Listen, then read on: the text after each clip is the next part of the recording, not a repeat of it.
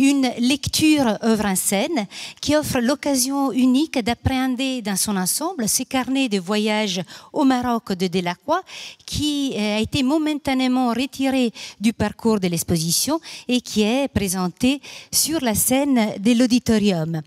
Euh, page après page, vous pourrez découvrir les croquis et les merveilleux, vous verrez, dessins aquarellés de, de Delacroix et en même temps entendre à travers la voix de notre comédien Bertrand Brouder, qui va nous rejoindre tout à l'heure, le texte annoté par le peintre lui-même.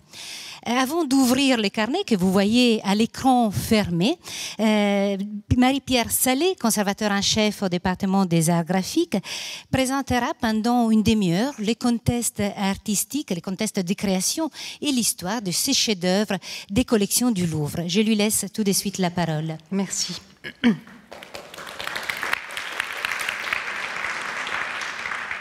Mesdames, Messieurs, en février 1832, une dizaine de jours après son débarquement à Tanger, Eugène Delacroix écrivait à son fidèle ami Jean-Baptiste Pierret Je fais des promenades à cheval aux environs qui me font un plaisir infini, et j'ai des moments de paresse délicieuse dans un jardin aux portes de la ville, sous des profusions d'orangers en fleurs et couverts de fruits.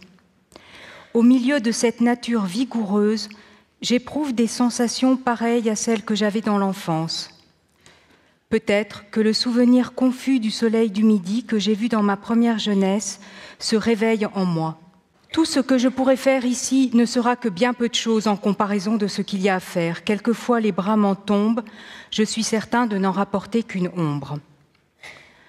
Au plaisir paradisiaque se mêle donc la pensée d'une impuissance à tout transcrire, tout saisir et la crainte d'oublier revient à plusieurs reprises dans la correspondance du peintre au cours des six mois de son séjour au Maroc, de fin janvier à fin juin 1832.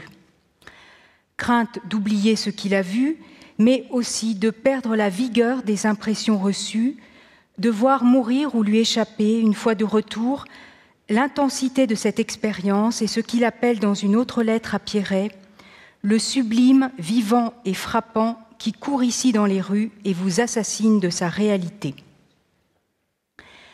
Les dessins du séjour marocain, près d'un millier répertoriés sommairement en lot pour la vente d'ateliers de 1864, sont le témoignage dans leur profusion de l'avidité du peintre à retranscrire le plus possible cette aventure dont le souvenir l'accompagnera jusqu'à la fin de sa vie. Des années plus tard, en 1853, c'est par un mouvement inverse, dans le détachement, dans l'oubli des détails, que Delacroix trouvera un sens à son travail sur le Maroc, comme il l'a écrit dans son journal, une réflexion souvent citée. Je n'ai commencé à faire quelque chose de passable dans mon voyage d'Afrique qu'au moment où j'avais assez oublié les petits détails pour ne me rappeler dans mes tableaux que le côté frappant et poétique. Jusque-là, j'étais poursuivi par l'amour de l'exactitude que le plus grand nombre prend pour la vérité. Alors, le voyage au Maroc a été euh, largement étudié, objet de nombreuses publications.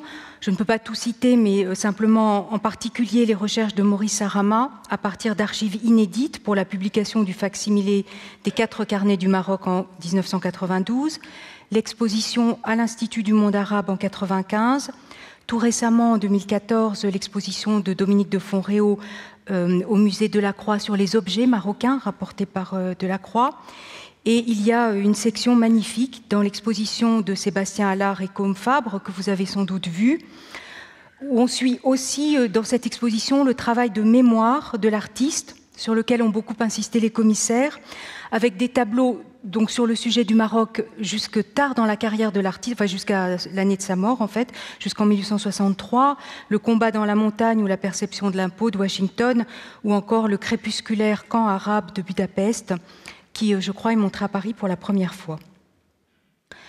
Je rappelle ici très rapidement que Delacroix accompagnait l'ambassade du comte de Mornay, Charles de Mornay, à qui Louis-Philippe avait confié la mission diplomatique de négocier avec le sultan Moulay Abderrahman et de résoudre notamment les questions de frontières avec l'Algérie, dont la colonisation avait commencé, puisque la, la prise d'Alger a eu lieu en 1830.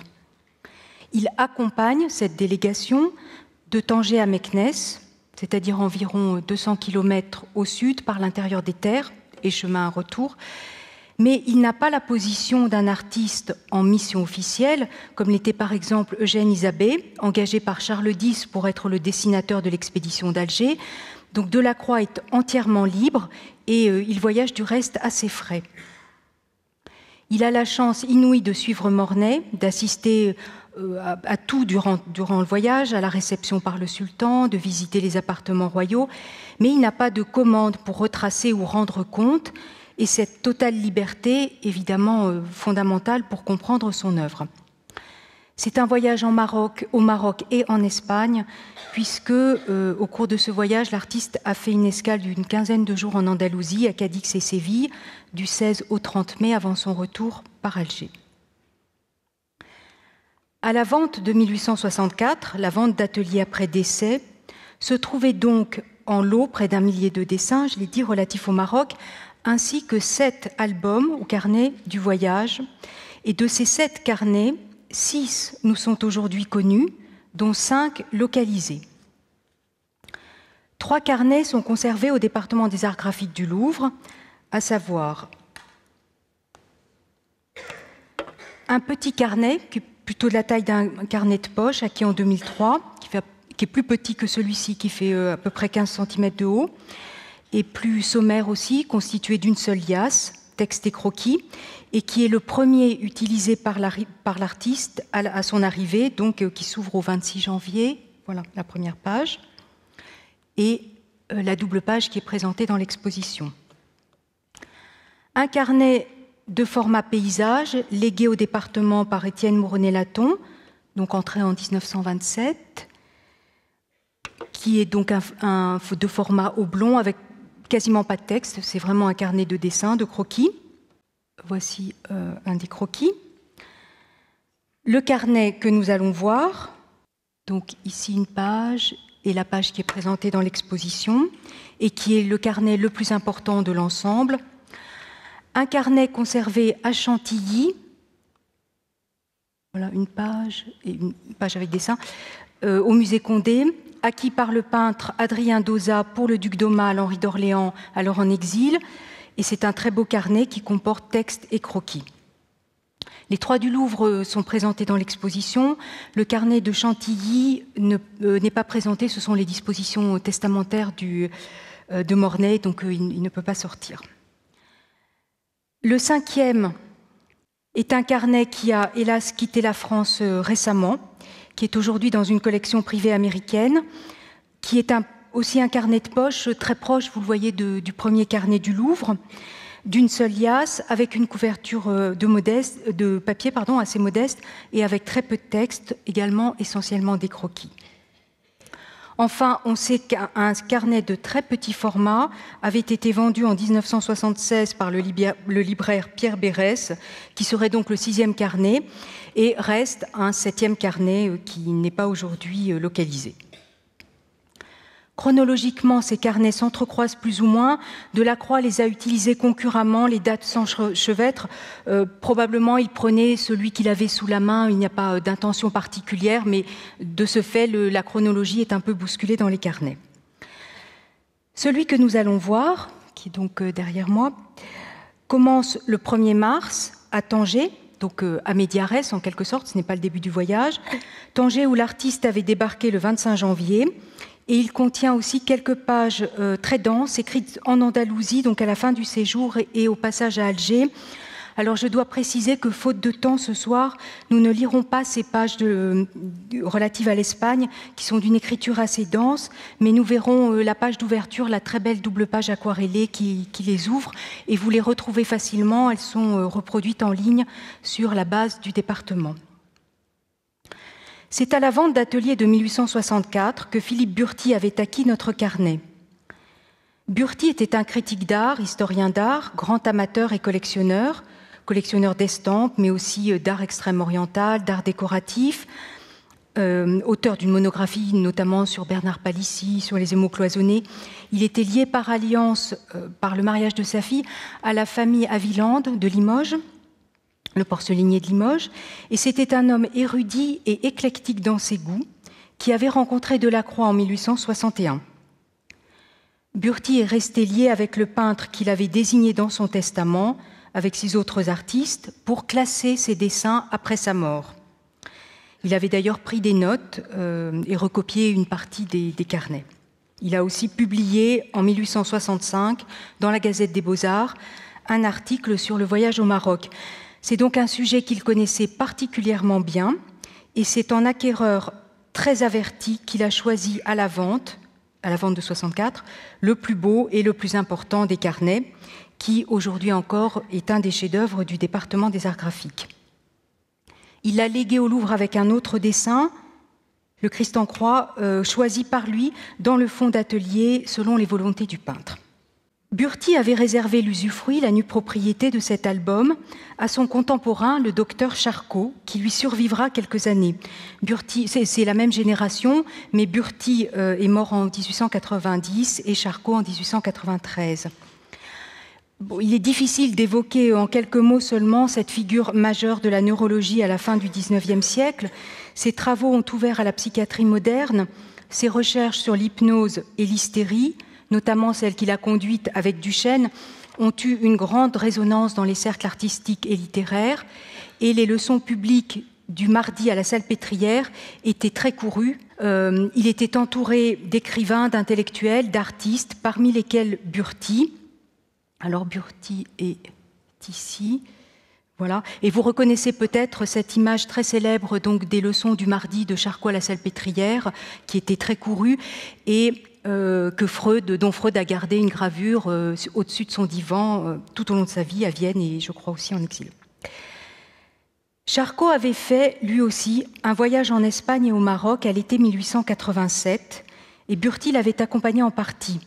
Charcot connaissait donc bien l'album de Delacroix que Burti conservait alors depuis plus de 20 ans et il a tenu un journal de son propre voyage. Charcot était un dessinateur très doué et qui pratiquait lui-même beaucoup le dessin.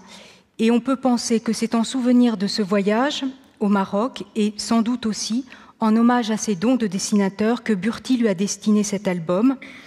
Euh, il a, Burti a rédigé son testament en janvier 88, donc euh, quelques mois, enfin trois mois à peine après le séjour marocain de Charcot. Et c'est évidemment extrêmement émouvant pour nous de penser qu'avant son entrée au Louvre, cet album a été lu et admiré par ces deux personnalités hors du commun et liées d'amitié. Le carnet du Maroc est à la fois un journal de voyage et un carnet de croquis, mais le choix d'un format vertical, qui est le format du livre, signale plutôt chez Delacroix à l'origine l'intention d'un récit, de l'écriture. Pour dessiner, il est en effet beaucoup plus à l'aise dans les formats euh, à l'horizontale, les formats euh, ou à l'italienne, ce qui était le cas du carnet Moronnet-Laton que nous avons vu tout à l'heure. D'ailleurs, il n'abandonnera pas totalement l'idée d'un récit, puisqu'il la reprendra une dizaine d'années plus tard dans un texte finalement resté inédit de son vivant. Un carnet destiné donc sans doute à l'écriture de première intention, mais très vite relayé par le dessin, et dans certaines pages, euh, celle de Meknès notamment, le dessin prend une importance prépondérante. Très tôt, le texte a été considéré, seul, indépendamment des dessins, comme une sorte d'équivalent de suite au journal, interrompu à l'automne 1824.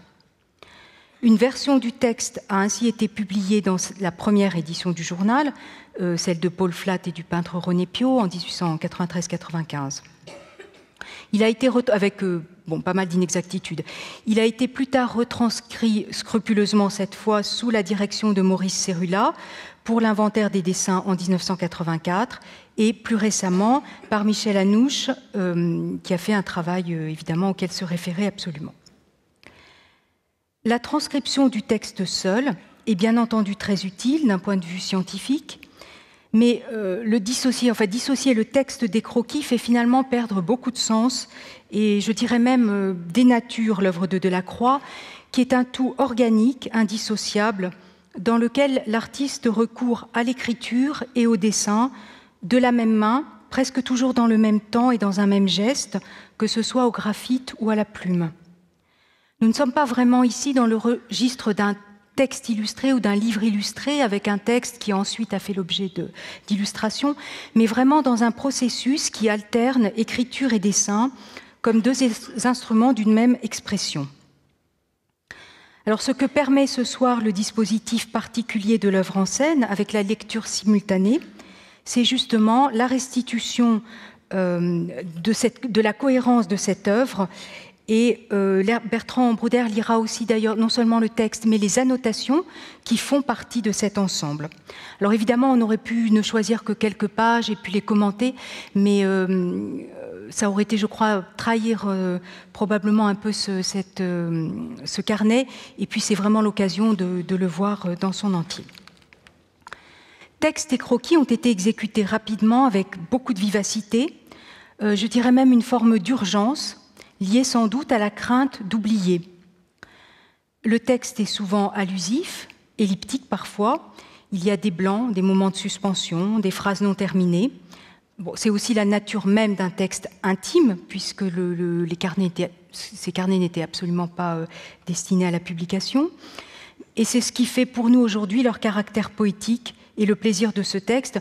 Euh, il y a ainsi une phrase que, j'aime beaucoup entendre, c'est celle, euh, l'anecdote du pacha de Tanger qui a rangé les fromages. Voilà. Alors on ne sait pas très bien de quoi, de quoi il s'agit. C'est un peu surréaliste en quelque sorte, un peu euh, un jeu de cadavre exquis, mais c'est dû à cette nature très syncopée, très allusive parfois de ce texte qui, qui fait aussi le plaisir qu'on a à l'entendre.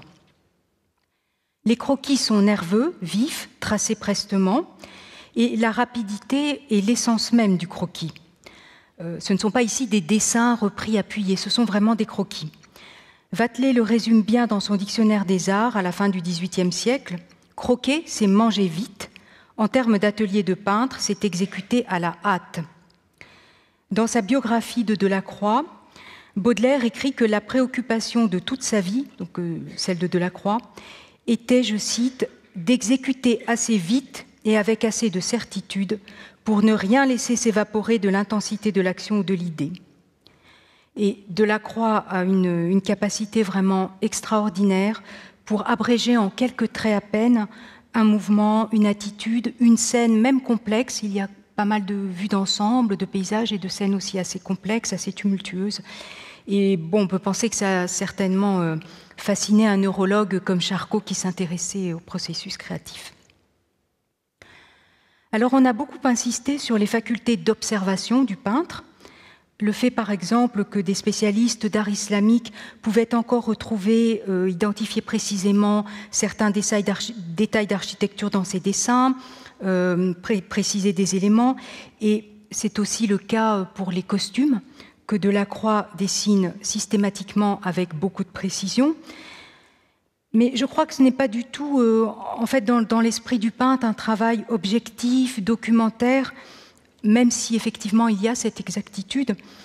Et l'invention est immédiatement présente dans le regard du peintre, présente dans le choix des détails, la tache singulière d'un vêtement, le reflet jaune d'un talon d'une botte, une montagne violette au loin, ou dans la façon de raconter et dessiner des scènes qui en fait sont déjà des sujets, dans son esprit les chevaux qui se mordent, l'offrande du lait, le spectacle des jeux de poudre, c'est-à-dire des fantasias.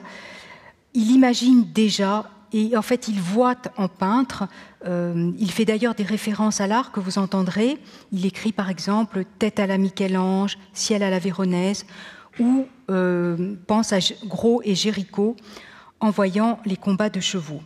Il précise aussi toujours d'où vient la lumière, lumière à gauche, lumière à droite, le, sens des ombres. Donc c'est vraiment un regard d'emblée, un regard de peintre.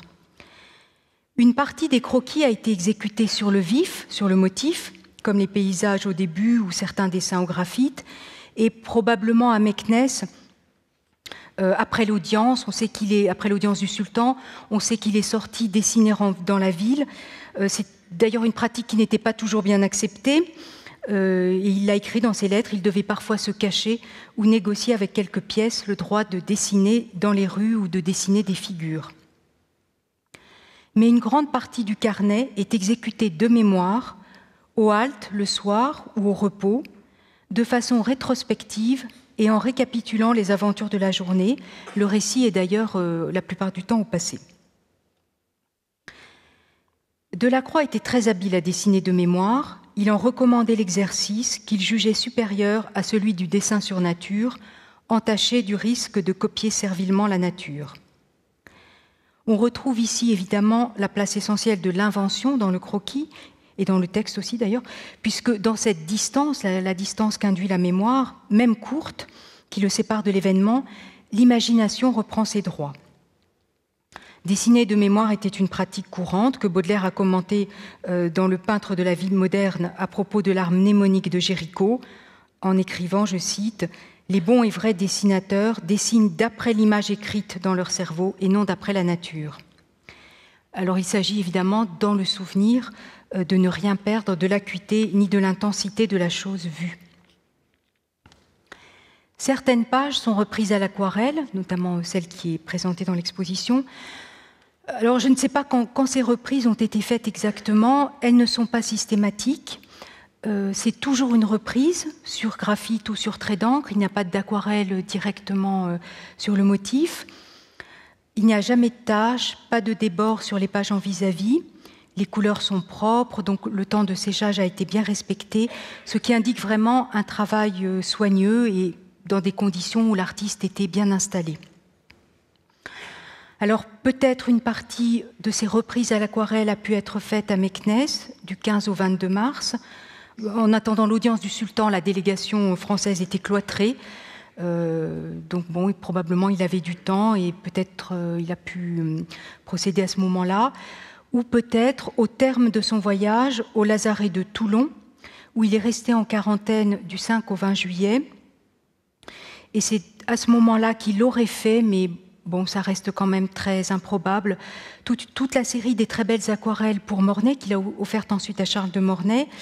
je vous en montre une. Voilà, un exemple de ces aquarelles qui ont été faites euh, peut-être à Toulon, enfin c'est pas sûr, euh, qui sont elles aussi très appliquées. Alors s'il avait de l'aquarelle à ce moment-là, peut-être il en a profité pour reprendre ses carnets. On sait assurément par ses lettres qu'il a retravaillé des dessins pendant euh, ce séjour où évidemment il s'ennuyait beaucoup. Les pages aquarellées sont les plus spectaculaires, les plus fréquemment reproduites, mais en fait elles donnent une image un peu faussée du contenu puisque une partie seulement des pages ont été euh, rehaussées. Et les pages au crayon et à la plume sont peut-être à première vue un petit peu moins séduisantes, mais euh, à première vue seulement, je crois. Et en fait, ça vaut vraiment la peine de les redécouvrir parce qu'elles sont, euh, d'une part, plus proches du premier jet. C'est vraiment la première, voilà, la première écriture de l'artiste, les, les aquarelles étant reprises, je le répète. Et puis les détails des croquis sont vraiment euh, tout à fait extraordinaires. Alors qu'évidemment la, couleur, euh, bon très très impressionnante, noie un peu le, euh, noie un peu les détails. Bon, c'est très spectaculaire. C'est la vieille querelle, voilà, de la couleur et du dessin et de la séduction de la couleur. Alors il y a deux passages particuliers dans le carnet que je voudrais souligner. Le premier, c'est le récit de la réception par le sultan euh, euh, alors Delacroix le dit empereur, hein, mais donc il s'agit du sultan, le 22 mars, et les cérémonies et spectacles qui s'y rattachent, notamment les jeux de poudre, c'est-à-dire les fantasias, euh, toute cette virtuosité militaire qui plaisait tant à Delacroix. Et dans cette partie, le texte est beaucoup plus suivi, beaucoup plus narratif. On est plus proche à ce moment-là d'un vrai récit que de notes de voyage. Et c'est aussi une sorte probablement de première pensée pour le, grand tableau de Toulouse. Et le second passage, qui est un petit peu à part, presque à la fin de la lecture, une méditation très belle, très poétique sur la noblesse et le caractère antique du peuple marocain. Delacroix y revient en des termes similaires dans ses lettres et euh, c'est un texte qui le distingue vraiment profondément de, ce qu'on pourrait appeler aujourd'hui une pensée colonialiste. Chronologiquement, on est bien sûr bien avant le protectorat, mais euh, on trouve ce point de vue plutôt dans le récit officiel de Charles de Mornay, qui a publié euh, Maurice Arama, alors que vraiment Delacroix a une position, vous l'entendrez, tout à fait différente. Alors, avant d'ouvrir l'album pour la lecture, je vous le montre. Donc c'est un album pas tout à fait un album de poche, un peu plus grand quand même qu'un format de poche, une relure euh, demi-cuir euh, sur euh, trois points de couture, moins luxueuse qu'une relure plein cuir. Donc les plats sont recouverts de papier faux cuir brun. Ici le cachet de la vente d'atelier que portent tous les carnets de Delacroix. Sur le contreplat inférieur, un soufflet Le carnet de Chantilly a le même euh, soufflet, il est du même fabricant, mais le, papier de couverture imitation cuir et rouge. À l'intérieur de ce soufflet donc, se trouvaient euh, quelques petits fragments de correspondance, des, croquis. Je vous en montre simplement un. Voilà. Je pense qu'on voit un petit croquis qui était inséré.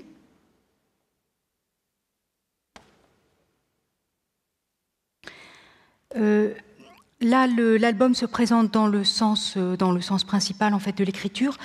Delacroix a probablement à plusieurs reprises l'a retourné pour euh, simplement parce qu'il l'avait. Euh, enfin, j'imagine que c'est simplement parce que ça, ça, convenait à ce moment-là, et donc utilisé dans le sens inverse durant la lecture pour ne pas le remanipuler plusieurs fois.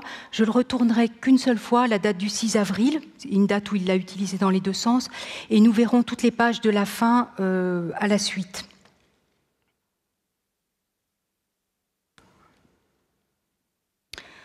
Sur le contreplat, donc, euh, la contregarde du plat supérieur, la notation au docteur et ami Jean Charcot, qui, renvoie donc à l'historique que, je vous ai présenté. Janvier 88, c'est la date du testament de Philippe Burti, c'est l'écriture de Philippe Burti. Le, numéro d'inventaire euh, doit faire retourner par le Louvre.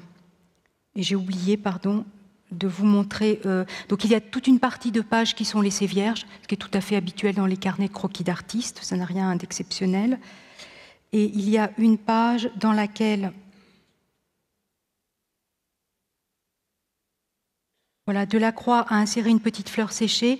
Euh, on voit ça aussi dans l'exposition. Il y a un des agendas avec une très jolie fleur euh, qui est présentée, une des pages de l'agenda dans l'exposition. Delacroix est très attentif à la nature pendant ce séjour. Il est très sensible euh, aux fleurs, à la végétation. Il parle des forêts de liège, des forêts d'olivier. Il est vraiment très, très sensible à la, à la nature autour de lui. Voilà, donc, et euh, nous allons pouvoir commencer euh, la lecture et la présentation.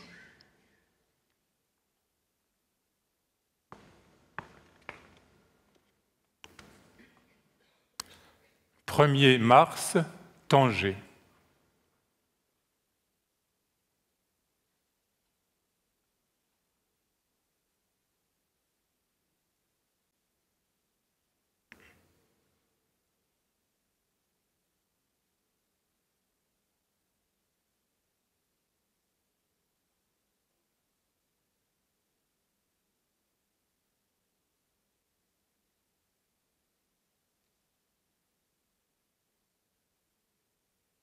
Vendredi 2 mars. Promenade avec Monsieur Hay. Dîner chez lui. Vicino à J.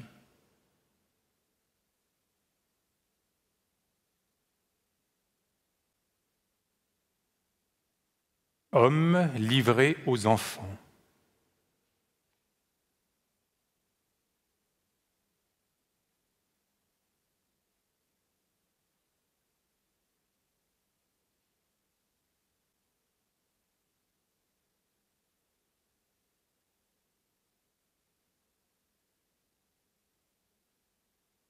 Le pied de côté dans l'étrier quelquefois, le drapeau dans son étui planté devant la tente, la plaine et la tribu rangée fuyant vers le fond, devant demi-douzaine de cavaliers dans la fumée, un homme plus en avant, burnous bleu très foncé.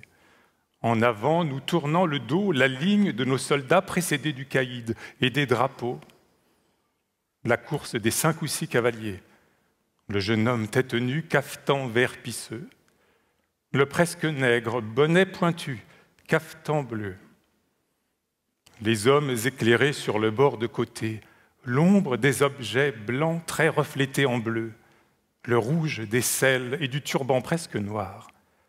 Au passage du guet, les hommes grimpant, un cheval blanc de côté. Premier jour, Aïn El Dalia, parti à une heure de Tanger. Noir, rougeâtre, mouchoir jaune, blanc, bleu clair, rougeâtre, bleu foncé. L'arrivée au campement. Montagnes sauvages et noires à droite, le soleil au-dessus, marchant dans des broussailles de palmiers nains et des pierres, toute la tribu rangée à gauche couronnant la hauteur. Plus loin, en suivant les cavaliers sur le ciel, les tentes plus loin. Promenade dans le camp le soir, contraste des vêtements blancs sur le fond. L'imam le soir appelant à la prière. Le 6 mars à Garbia, parti vers 7 ou 8 heures, monter une colline, le soleil à gauche, montagnes très découpées les unes derrière les autres sur un ciel pur. Trouver diverses tribus. Coup de fusil en sautant en l'air, lac là-haut. Traverser une montagne très pittoresque. Pierre, je me suis arrêté un moment. Homme sous des arbres près d'une fontaine. Homme à travers les broussailles. Très belle vue au haut de la montagne, demi-heure avant le campement. La mer à droite et le cap Spartel. Course de poudre dans la plaine avant la rivière. Les deux hommes qui se sont choqués, celui dont le cheval a touché du cul par terre, un surtout à cafetan bleu-noir et fourreau de fusil en sautoir. Plus un homme à cafetan bleu de ciel.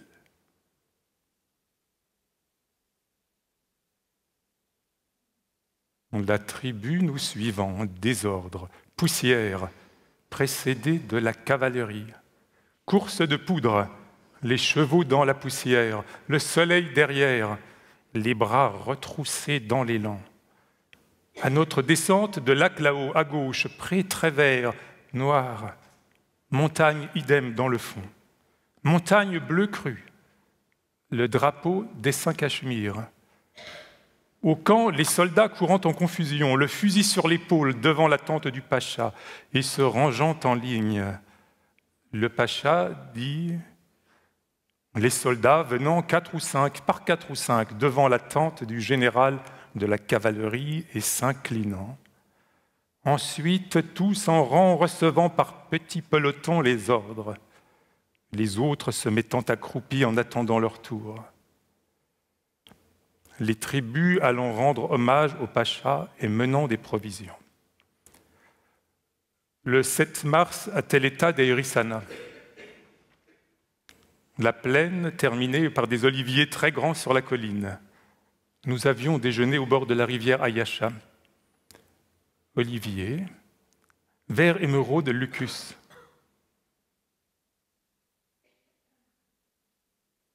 L'homme au cafetan noir, haïque sur la tête, noué sous le bras. L'homme qui raccommodait quelque chose à sa selle, turban sans calotte, burnous noir. Drapé, derrière, en romain. Bottes très hautes, pièces jaunes au talon. Burnous sur la tête attaché par une corde. Petit cordon, bleu. Blanc, bleu. Bouton à sa robe blanche Nègre, turban rouge et blanc, bleu, rouge. Les cinq lièvres pris dans la plaine. La rencontre avec l'autre pacha. Dama sur la croupe du pacha. Musique à cheval. La prière près de la tente du commandant. Les gens qui portent le plat de couscoussou dans un tapis émouton l'homme nu arrangeant son haïk près du tombeau du saint. Arbre près d'un petit tas de pierres, montagne verte avec terre jaune dans la distance. Passer la soirée avec Abou dans notre tente. Conversation sur les chevaux, la boîte à musique qui ne s'arrêtait point.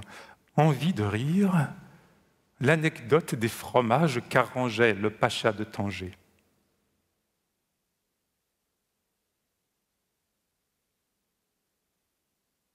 Jeudi 8, Alcassar el-Kébir, pluie en partant, monter une colline et entrer dans un joli bois de chênes verts nommé. Entrer dans la plaine de... où l'armée de Don Sébastien a été défaite. Traverser la rivière de... déjeuner auprès de la rivière de... Jeu de poudre dans la plaine, montagne dans la demi-teinte, avant d'arriver à Alcassar, population immense, jeu de poudre sans fin. Le frère du pacha donnant des coups de bâton et de sabre. Un homme perce la foule des soldats et vient tirer à notre nez. Il est saisi par Abou, sa fureur. Par le turban défait, on l'entraîne, on le couche plus loin. Mon effroi, nous courons. Le sabre était déjà tiré. Sur le haut de la colline, à gauche, étendards variés, dessins sur des fonds variés, rouge, bleu, vert, jaune, blanc. Autres avec les fantassins bariolés, rouge et blanc. Autre manière de porter le tambour sur l'épaule gauche. Enfants à pied, sel jaune sale, violet, bleu, blanc, jambes d'Abraham. Éperon pendant, fourreau de la baïonnette à la selle, nègre, rouge, jaune, blanc, bleu les grandes trompettes à notre entrée à Alcassar. Vendredi 9 mars, campé à Fouara. Parti tard du campement d'Alcassar, pluie. Entrée à Alcassar pour le traverser. Foule, soldats frappant à grands coups de courroie. Rue horrible, toit pointu. Cigogne sur toutes les maisons sur le haut des mosquées elle paraissait très grande pour les constructions, tout en briques, juives aux lucarnes, traversée dans un grand passage garni de hideuses boutiques, couverts en cannes mal assemblées. Arrivée au bord de la rivière, grands arbres oliviers au bord, descente dangereuse. Au milieu de la rivière, coups de fusil de l'un et de l'autre côté. Arrivé à l'autre bord, traversé pendant plus de vingt minutes une haie de tireurs assez menaçante. Coup de fusil au pied de nos chevaux. Homme à demi nu. Caractères arabes. Arrivée du frère du Pacha, burnous violet, charmante tournure, petite bande de cachemire au-dessus de son turban. Cheval gris. Déjeuner dans des montagnes près d'une source pluie battante, jaune au bout, par derrière. Trouver l'autre pacha dans une plaine, course, coup de fusil, canaille. L'autre avec le lieutenant du pacha. Blanc, rouge, dama violet rose, noir vineux, blanche. L'œil presque couvert, rouge, mule. L'homme renversé sur le dos et son cheval par-dessus lui, relevé à moitié mort, remonté à cheval un instant après. Voracité des morts, le soir, Abraham nous le contait dans l'attente. Samedi 10 mars, El Arba de Sidi Aïssa Bellassène, malade la nuit précédente. Nous avons été incertains si nous resterions à cause du temps. Les Juifs ne voulaient pas partir. Le soleil apparut, traversé la rivière Emda qui serpente en trois, fait une visite à Ben Abou. Il avait un habit de drap blanc. Le capuchon du burnous, cafetière turque, petite planche en manière de boîte pour mettre le thé dessus, le soldat avec la corde passée servant le thé. Il nous a dit que l'empereur courait quelquefois la poudre, quelquefois avec vingt ou trente cavaliers qu'il désigne. Leurs chevaux passent la nuit en plein air, pluie, chaleur, et n'en sont que meilleurs.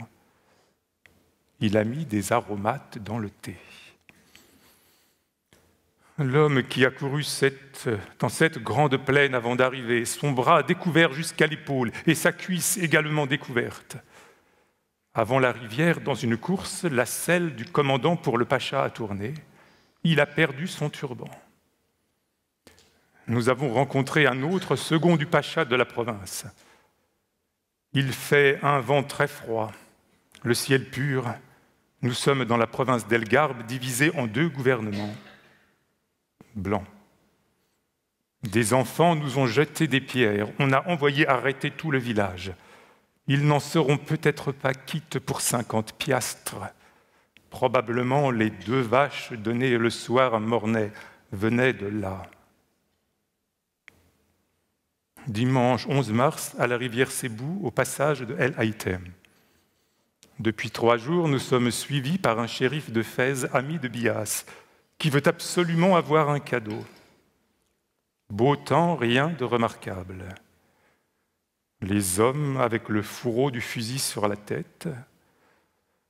Quand les morts veulent obtenir quelque chose, comme une grâce, et de manière à n'être pas refusés, ils vont porter près de votre tente un mouton, même un bœuf, comme présent et l'égorgeant en manière de sacrifice et pour constater l'offrande.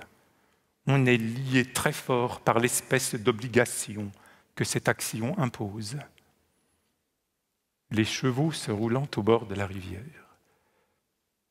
Le jour que nous avons campé à Alcassar, on est venu tuer trois moutons, l'un à la tente de Bias, le second à celle du caïd, le troisième à la nôtre, pour obtenir la grâce d'un homme accusé d'assassinat. Bias s'intéresse à l'affaire.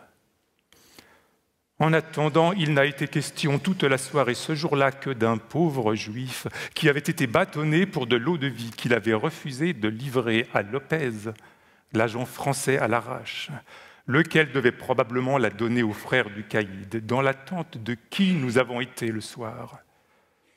On a voulu le relâcher que moyennant quatre piastres et dix onces pour le donneur de coups.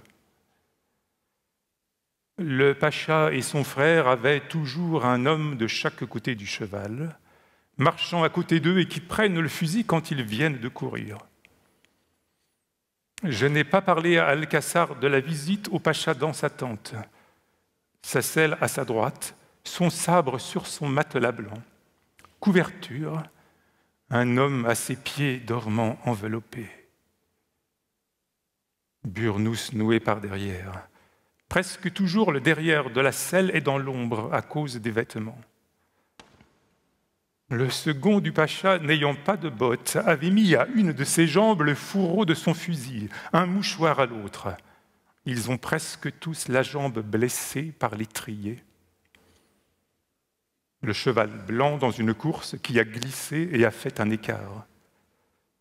Le cheval ferré à froid, la corne coupée par devant. Feu creux de la rivière, se détachant en clair par le haut et en noir par le bas. Lundi 12 mars, sur les bords du fleuve Sébou. Passé le matin le Sébou, embarquement ridicule. Les chevaux se sauvant et roués de coups pour entrer dans les barques. Hommes nus chassant les chevaux devant eux.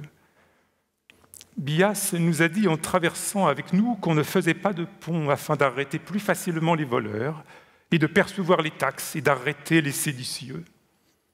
C'est lui qui disait que le monde était divisé en deux, la barbarie et le reste. Habits bleus et rouges se détachant vivement.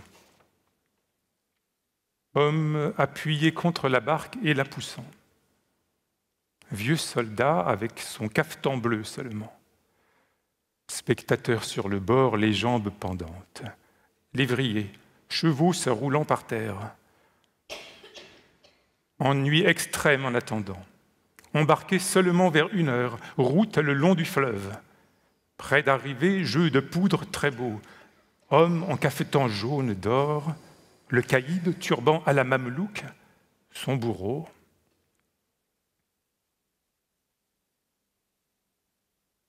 rouge, turban volant derrière et samberlificotant. Un des chefs, dans une course, étant arrivé jusqu'à nous, Abou s'est mis au-devant de lui et l'homme lui a déchiré un peu son manteau. Arrivé au campement, Abou a déchiré en pièces son manteau, voulant plutôt le brûler que de permettre que qui que ce soit pût en profiter. On lui a aussi cassé sa pipe il était furieux et intraitable pour les soldats. Le soir, après dîner gai, descendu solitairement près des bords du fleuve Sébou, beau clair de lune. Le 13 mars, mardi, à Sidi Kassem, soleil très ardent, route dans une plaine immense, tendre, vert rosé. Le 14 mars, mercredi, Zaroun, parti par un beau soleil au matin, côtoyer d'abord la petite rivière, les figures éclairées de côté par le soleil levant, montagne nette sur le fond, blanc des étoffes et couleurs très vives, ciel bleu, entrer dans un défilé dans la montagne. Hommes et enfants en haïk et nus en dessous, marabout, bonhali idiot, shérif, Taleb.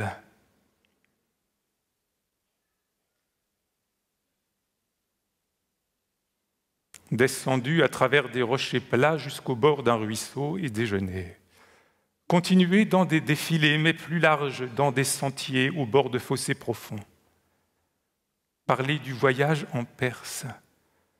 Vu une femme qui apporte à boire au commandant. Elle avait des agrafes.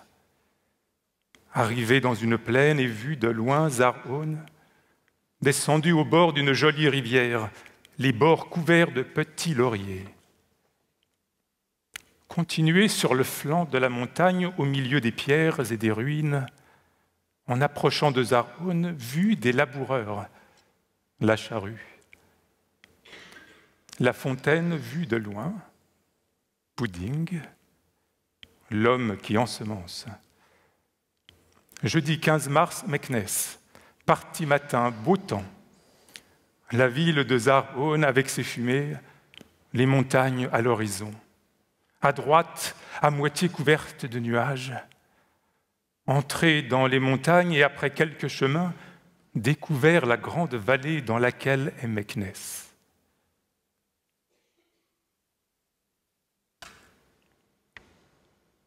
Arrêté après avoir passé une petite rivière. C'est la même que nous avons passée la veille et qui serpente, laurier rose. Rencontrer des cavaliers qui ont couru la poudre, cafetan sans manches, manches à dessins bariolés, jaunes et violets, à Meknès, cafetan de velours jaune amarante. Rester au grand soleil assez de temps, Meknès était à notre gauche et de loin nous voyons à droite en avant la garde de l'empereur sur une colline. Au bas de nous, dans la plaine, ils ont couru la poudre une quantité ensemble. Traverser un ruisseau rapide au milieu de la confusion.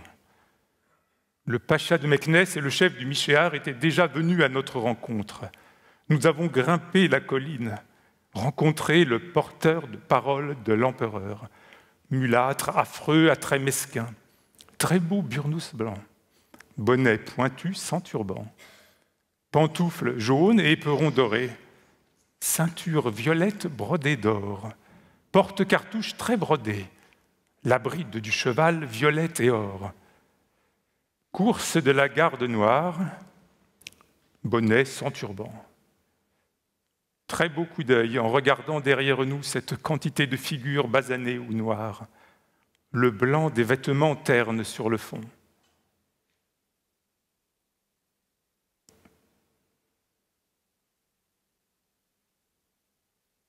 Fait l'ennuyeuse promenade, course continuelle à notre gauche, à droite coup de fusil de l'infanterie, de temps en temps, nous arrivions à des cercles formés d'hommes assis qui se levaient à notre approche. Ils nous tiraient au nez. Précédés de la musique, tête de sardanapale, marchant derrière les drapeaux. Descendu à gauche, Meknès présentait cet aspect.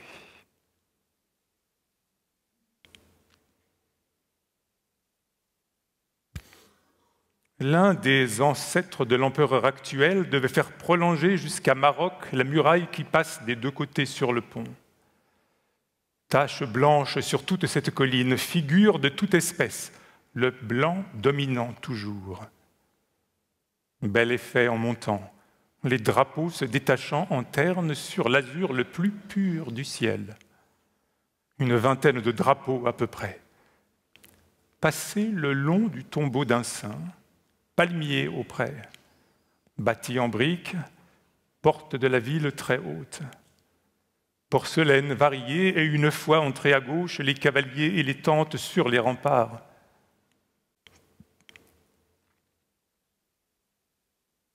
Autre entrée de la ville, les drapeaux inclinés sous la porte. Je m'y suis rencontré à côté d'un homme sur un âne avec un enfant. Les murs sous lesquels nous avions passé auparavant, vus de cette porte en se retournant. Dans l'intérieur de la porte ci-dessus, foule immense. À droite, la grande porte colossale. Devant nous, une rue. À gauche, une longue et large place et rangée en demi-cercle devant nous, l'infanterie qui a fait feu. La cavalerie derrière le fantassin. Populace derrière sur des tertres et sur les maisons. Fait le tour de quelques remparts avant de rentrer en passant par une porte. Palmier gigantesque à droite avant d'entrer dans une autre porte, côtoyer un rempart, femmes en grand nombre sur un tertre à droite et criant. 22 mars, jeudi, audience de l'empereur. Vers neuf ou dix heures, parti à cheval, précédé du caïd sur sa mule, de quelques soldats à pied et suivi de ceux qui portaient les présents. Passé devant une mosquée, beau minaret qu'on voit de la maison une petite fenêtre avec une boiserie. Traverser un passage couvert par des cannes, comme à Alcassar. Maison plus haute qu'à Tanger. Arriver sur la place en face à la grande porte, foule à laquelle on donnait des coups de corde et de bâton. Plaque de porte en fer garnie de clous, blanchie jusqu'à la moitié entrer dans une seconde cour après être descendu de cheval et passer entre une haie de soldats. À gauche, grande esplanade où il y avait des tentes et des soldats avec des chevaux attachés.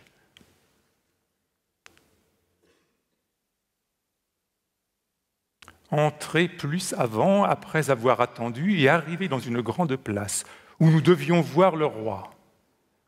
Femmes, voitures, procession. Avant sa sortie, on entendit Ammar Saïdna, fasse vivre notre Seigneur, Dieu sous-entendu, de la porte mesquine et sans ornement qui est ci-dessus, sont sortis d'abord à de courts intervalles de petits détachements de huit ou dix soldats noirs en bonnet pointu qui se sont rangés à gauche et à droite. Puis deux hommes portant des lances. Puis le roi qui s'est avancé vers nous et s'est arrêté très près grande ressemblance avec Louis-Philippe, plus jeune, barbe épaisse, médiocrement brun, burnous fin et presque fermé par devant, haïque par-dessous, sur le haut de la poitrine et couvrant presque entièrement les cuisses et les jambes, chapelet blanc à soie bleue autour du bras droit, qu'on voyait très peu, étrier d'argent, pantoufles jaunes non chaussées par derrière, harnachement sel, rosâtre et or. Cheval gris, crinière coupée en brosse. Parasol à manches de bois non peint. Une petite boule d'or au bout rouge en dessus et à compartiment. Dessous, rouge et vert. Après avoir répondu les compliments d'usage et être resté plus qu'il n'est d'ordinaire dans les réceptions, il a ordonné à Mouchtar de prendre la lettre du roi des Français et nous a accordé la faveur inouïe de visiter quelques-uns de ses appartements. Il a tourné bride après nous avoir fait un signe d'adieu et il s'est perdu dans la foule, à droite, avec la musique.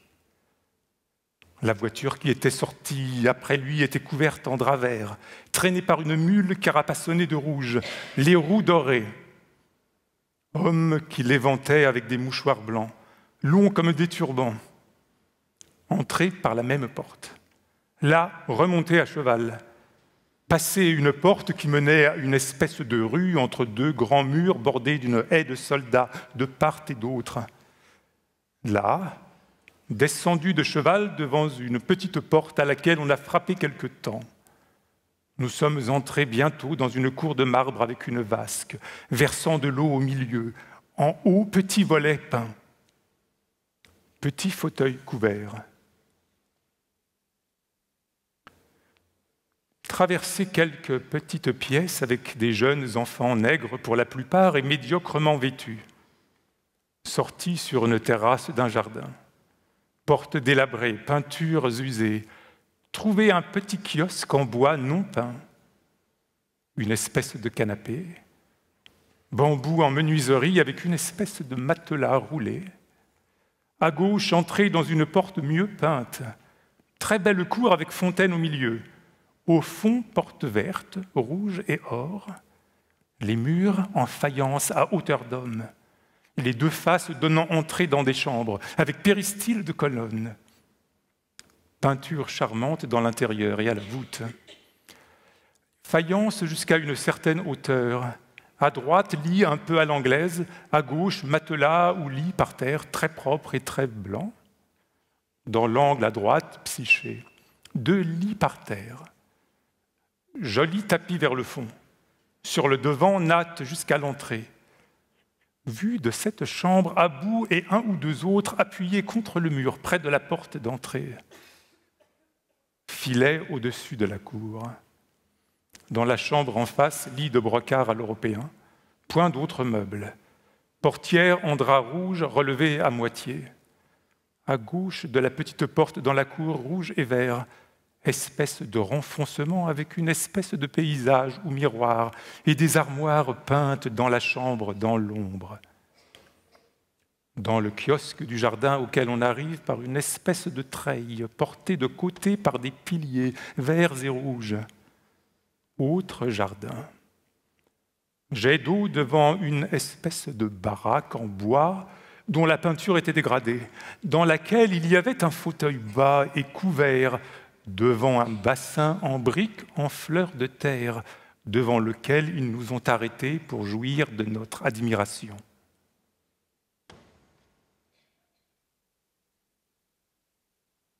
Le général en chef de la cavalerie accroupi devant la porte des écuries. De cette porte-là, en se retournant, bel effet, le bas des murs blanchis, Là, nous retrouvâmes nos chevaux et troupes encore sous les armes et fûmes dans un autre jardin plus agreste, sortis par l'endroit où on met au vert les chevaux de l'empereur. Soldats et peuples nous accompagnent, l'enfant à la chemise pittoresque. Vendredi 23 mars, sorti pour la première fois. La porte avec boiserie au-dessus espèce de marché de fruits secs, poteries et cabanes en canne adossées au mur de la ville. Séparation en canne dans les boutiques comme les treillages de jardin. Homme à l'ombre d'un chiffon sur deux bâtons. Porte fermée pour la prière. Homme battant le mur de tapis en criant à mesure un signal de l'un d'eux chaque fois.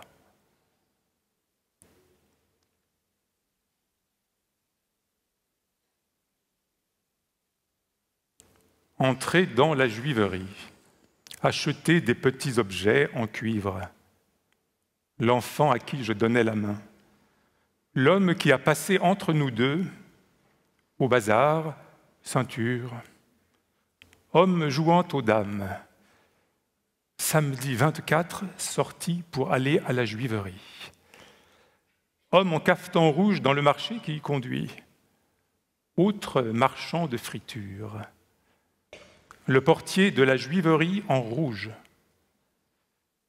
Entrée chez l'ami d'Abraham. Juif sur les terrasses se détachant sur un ciel légèrement nuageux et azuré à la pole véronaise. La petite jeune femme est entrée, à baiser les mains à nous tous. Les morts mangeaient. Table peinte.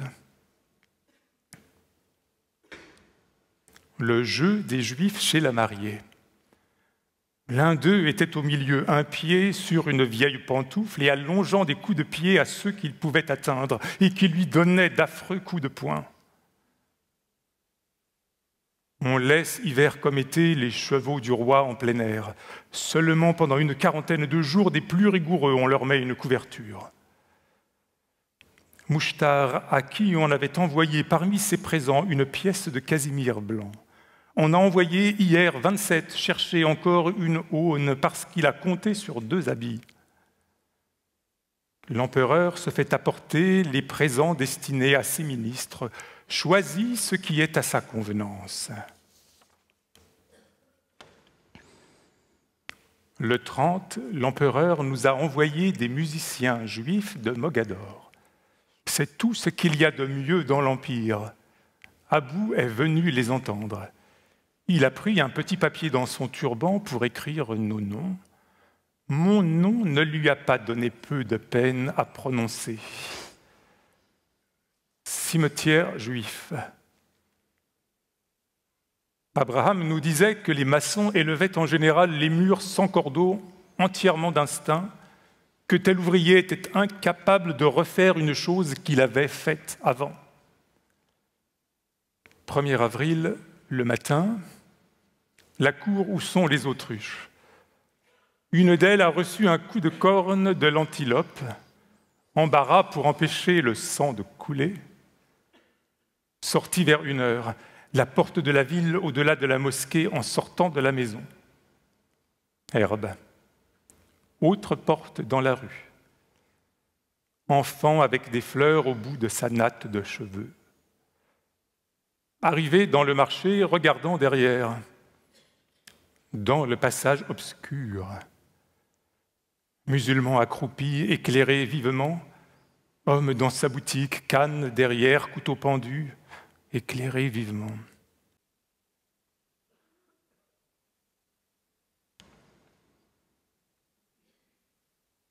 Homme assis à gauche, cafetan orange, haïk en désordre qu'il rajustait, vue de la mosquée dans la campagne, très vert, noir nu, rajustant son haïk, les hommes construisant le tapia, haïk entortillé, partie de murs peintes en jaune, le bas en général en blanc, très propre à détacher les figures. Fausse porte, petite mosquée peinte en jaune, le portier mort, dormant, chez le juif qui m'a conduit sur les terrasses. Femme assise brodant un habit de femme chez le chef des juifs, très vive couleur de rose à la figure se détachant sur le mur blanc l'enfant auprès, la maison ruinée du portugais, vue du haut de la terrasse, autre côté, porte de la ville, muraille du quartier des Juifs.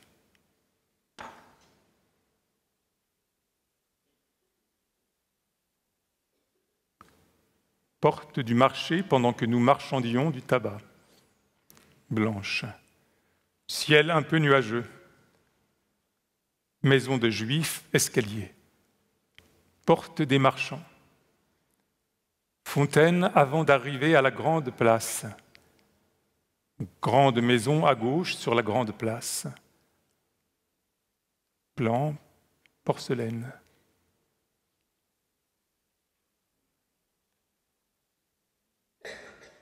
Corps de garde intérieur, intérieur de la cour.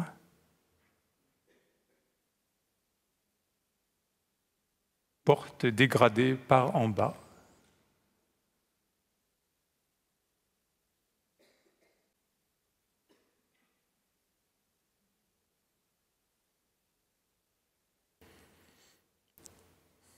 Tombeau de saint en descendant, créneau dentelé, porcelaine, grille, orange, mulâtre, bleu, turban blanc, gelabia.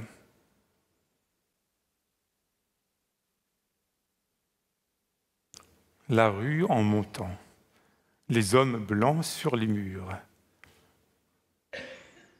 L'homme de Smurk. Le 2 avril, Bias nous a envoyé demander une feuille de papier pour donner la réponse de l'empereur.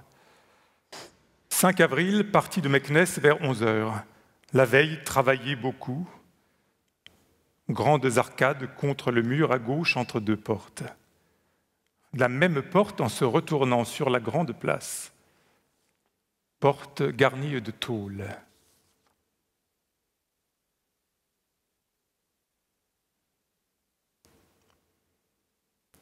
Une belle vallée à droite à perte de vue.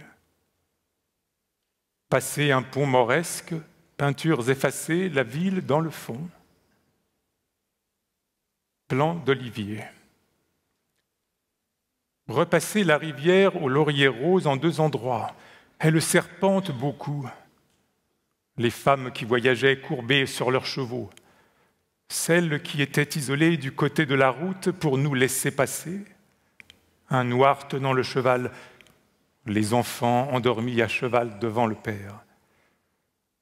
Les oliviers à droite en montant la montagne qui mène à Dérone. En arrivant à Dérone, le cheval de M. Desgranges, vingt soldats se mirent sur lui. On a cherché à l'enlacer avec des cordes. Enfin, les deux pieds de derrière pris, il cherchait à mordre le 6 avril au fleuve Sébou, vu des tentes noires placées circulairement. Arabe, traversé beaucoup de montagnes, grandes places jaunes, blanches, violettes de fleurs.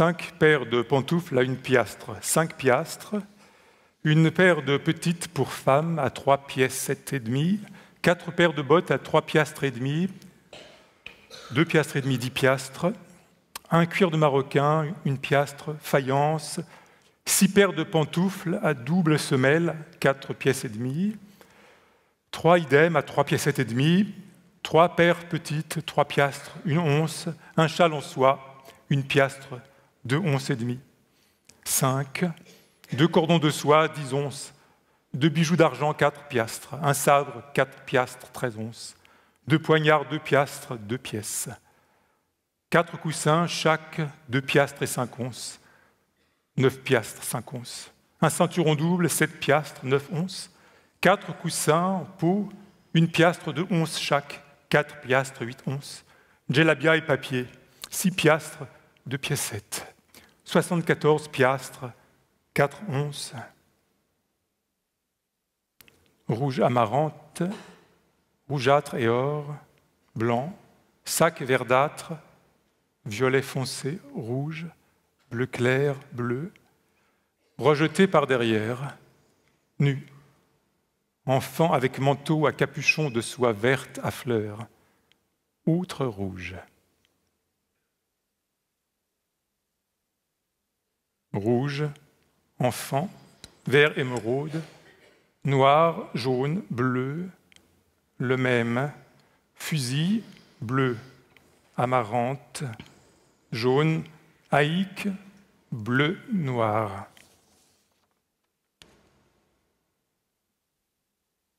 Velours noir bordé de jaune, jaune, nègre, bleu, jaune, jaune, bouffant, très blanc, le même, bleu, transparent, rouge.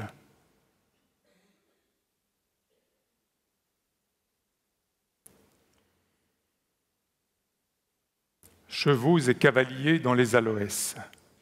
Soupe, Isabelle crin noir, blanc, noir, gris, bec clair.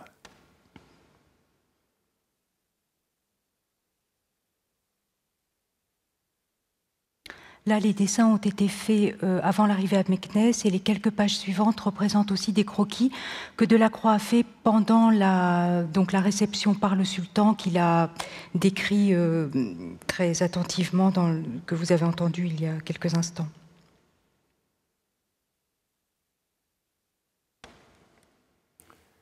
Burnous et cafetan bleu, sans ceinture.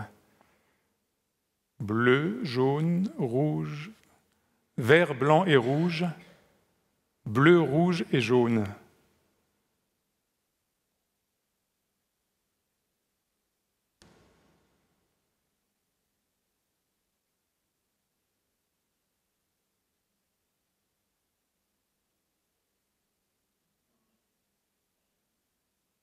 Un portrait qu'on a euh, diversement identifié. Et Michel Anouche propose de façon très convaincante d'y voir euh, le portrait de, de Desgranges, qui était un interprète qui suivait la mission.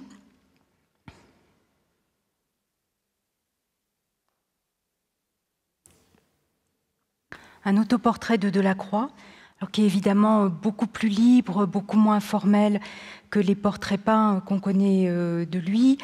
Euh, il est en costume de voyageur, il a, il a 34 ans pendant ce voyage et il est euh, loin des, contraintes et des conventions des cercles intellectuels et mondains de la vie parisienne. C'est vraiment un portrait tout à fait différent de, des portraits peints. On voit bien l'intensité du regard du dessinateur et du peintre. Euh, c'est un portrait au graphite avec un rehaut particulièrement appuyé sur la prunelle des yeux.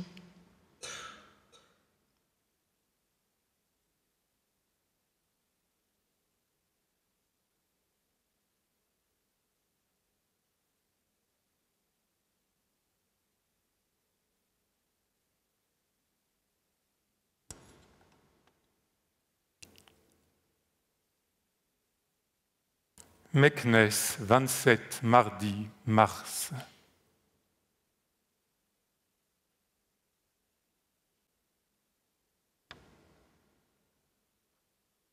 Bord du Cébou, 6 avril. Donc nous revenons là au 6 avril, dans lequel, euh, enfin, au, moment où Delacroix a dû retourner son carnet. Euh, les voyageurs ont passé le Cébou deux fois, une fois à l'aller, et une seconde fois donc au retour vers Tanger avec euh, un camp le 6 avril euh, qui est représenté ici et un passage du fleuve euh, le lendemain le 7. Donc je retourne le carnet dans son sens principal.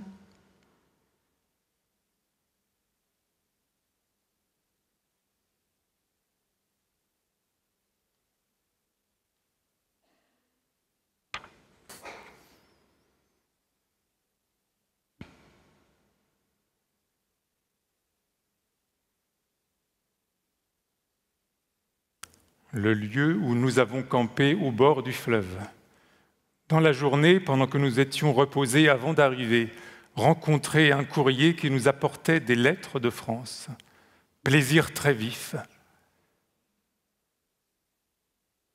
Le 7 avril à Reda, passer le Cébou, monter sur mon cheval, côtoyer le Cébou, fort agréable, tentes à gauche, Douar, passage du Cébou l'autruche à cheval, entré après déjeuner dans de belles montagnes, descendu dans une superbe vallée avec beaucoup de très beaux arbres, olivier sur des rochers gris.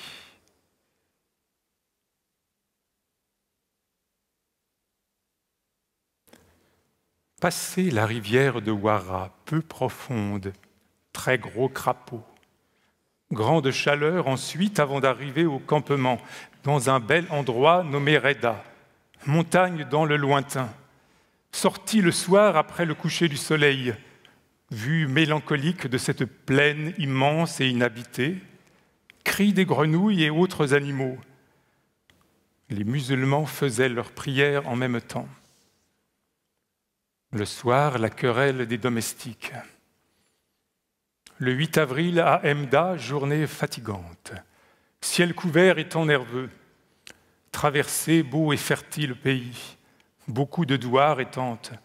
Fleurs sans nombre de mille espèces formant les tapis les plus diaprés.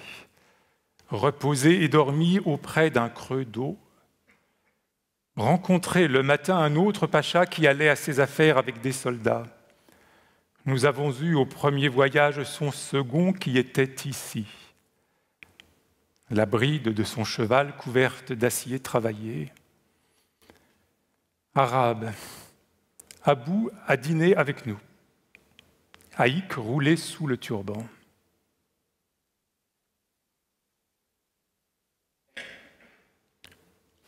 Le 9 avril à Al-Qassar el-Kébir, montagne. Côtoyer un endroit où nous avions déjeuné au premier voyage dans un creux auprès d'une fontaine. Genèse odorant, montagne bleue dans le fond. Quand nous avons découvert Al-Qassar, nous avons aperçu des soldats de Tanger campés au loin. Ils vont à Maroc. Ils étaient en ligne, les nôtres en ont fait autant. Course de poudre. Les chefs et soldats sont venus revoir leur chef, baisant leurs mains après avoir pris l'autre. Les soldats baisaient le genou.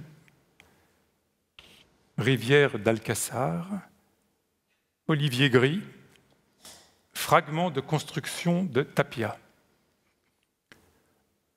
Le lait offert par les femmes, un bâton avec un mouchoir blanc. D'abord le lait aux porte-drapeaux qui ont trempé le bout du doigt. Ensuite aux caïds et aux soldats. Les enfants qui vont à la rencontre du caïd et lui baisent le genou. Le sabre dans la route. Se faire expliquer par Abraham le 10 avril à monter le cheval de Monsieur Desgranges. Beau pays, montagne très bleues, violettes à droite. Montagne violette le matin et le soir, bleu dans la journée. Tapis de fleurs jaunes, violettes, avant d'arriver à la rivière de Wad el Magazine. Passer la rivière et déjeuner dans les mêmes broussailles, entrer dans la grande plaine où a été défait Don Sébastien. À droite, très belle montagne bleue, à gauche, plaine, à perte de vue. Tapis de fleurs blancs, jaune clair, jaune foncé, violet.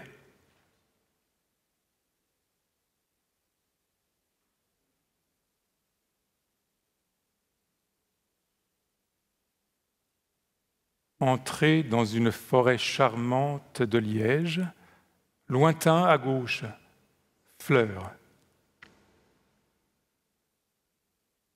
Descendu et remonté avant d'arriver au marché de Telati El Rissana, où nous avions couché en venant. Petit latanier sur la hauteur à gauche. Reposé à l'entrée de la vallée étroite et tortueuse appelée le col du chameau. Journée longue et fatigante. 11 avril à Endalia, monter le cheval de Cadour, le mien étant malade. Revu les beaux oliviers sur le penchant d'une colline, observer les ombres que forment les étriers et les pieds, ombres toujours dessinant le contour de la cuisse et de la jambe en dessous. Le maréchal, mouchoir bleu autour de la garde, vert, damas, l'étrier sortant sans qu'on voie les courroies L'étrier et la graffe du poitrail très blanc, sans brillant. Cheval gris, bride à la tête, velours blanc usé.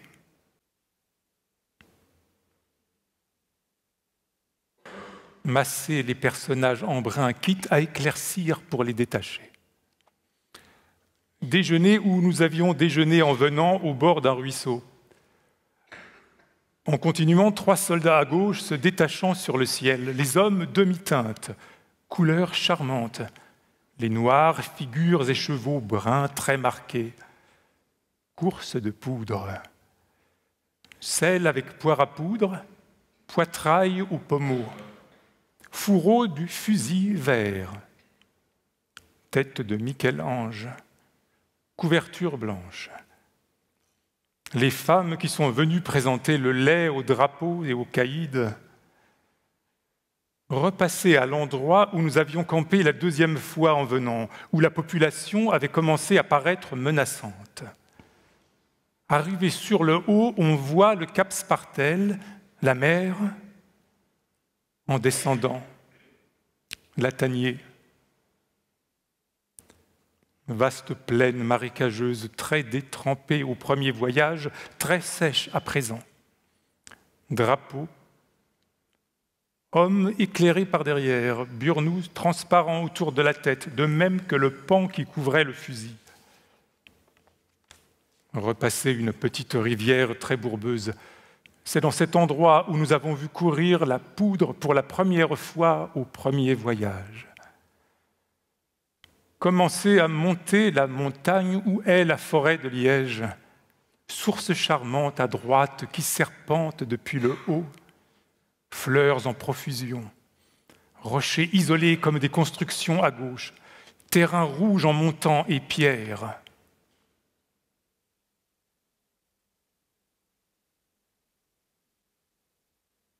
Vue superbe en se retournant.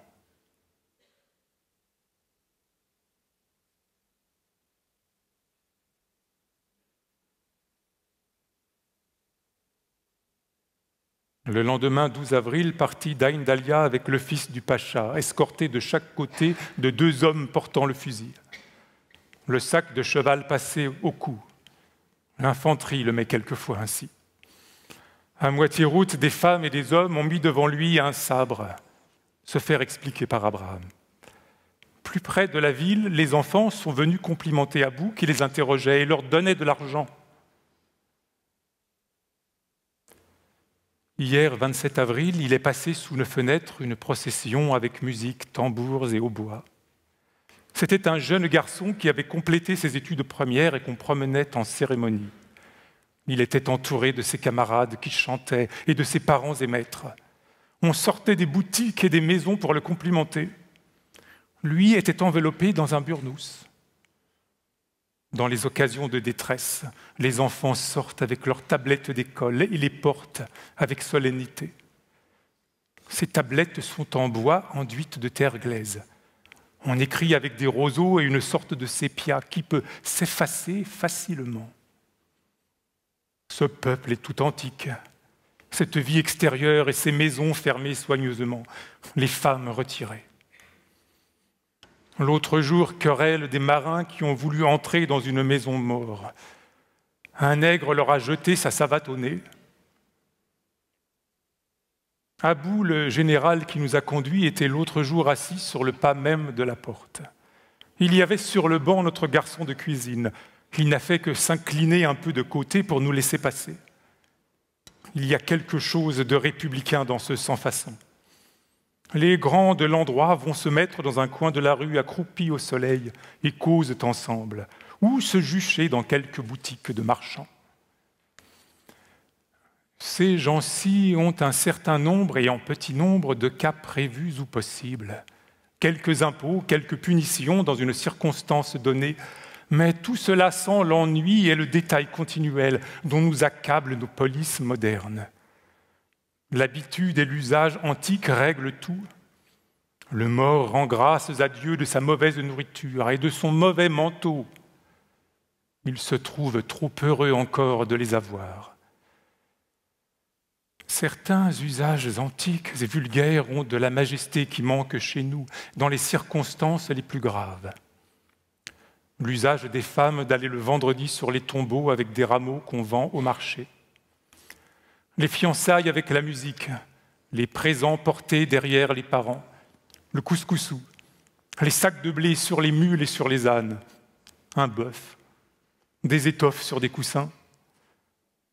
Ils doivent concevoir difficilement l'esprit brouillon des chrétiens et leur inquiétude qui les porte aux nouveautés. Nous nous apercevons de mille choses qui manquent à ces gens-ci. Leur ignorance fait leur calme et leur bonheur. Nous-mêmes sommes-nous à bout de ce qu'une civilisation plus avancée peut produire? Ils sont plus près de la nature de mille manières. Leurs habits, la forme de leurs souliers. Aussi la beauté s'unit à tout ce qu'ils font. Nous autres, dans nos corsets, nos souliers étroits, nos gaines ridicules, nous faisons pitié. La grâce se venge de notre science. Le 16 mai au soir, après une ennuyeuse quarantaine de sept jours, obtenu l'entrée à Cadix. Joie extrême. De même, le matin en venant, les montagnes à l'opposé de la baie très distinctes et belles couleurs.